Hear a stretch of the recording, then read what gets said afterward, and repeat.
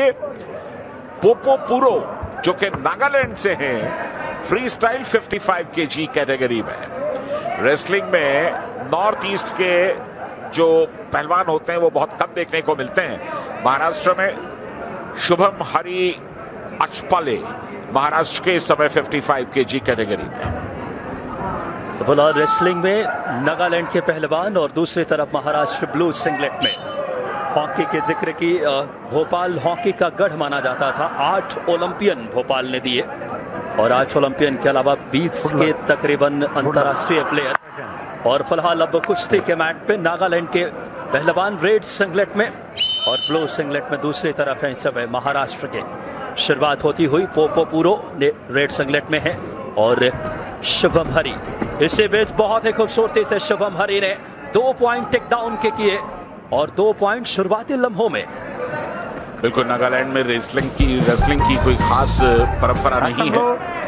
और एक्शन के लिए कहा गया है ये हो गया। कट रेंज लगा दिया एक और। तो चार पॉइंट्स तो ऑलरेडी हो गए उनके। ये हो गए दो पॉइंट्स और कट रेंज के।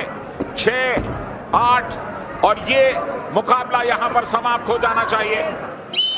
बिल्कुल दस शून्य से सिर्फ़ 40 सेकंड में इस मुकाबले को जीत लिया।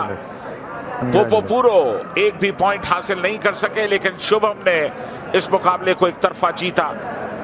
सहभागिता खेलो इंडिया का मूल मंत्र है हर खिलाड़ी खिताब नहीं जीतता है लेकिन किसी इवेंट में शामिल होना प्रतिस्पर्धा में आना और अपने राज्य का नाम रोशन करना ये बड़ी बात है।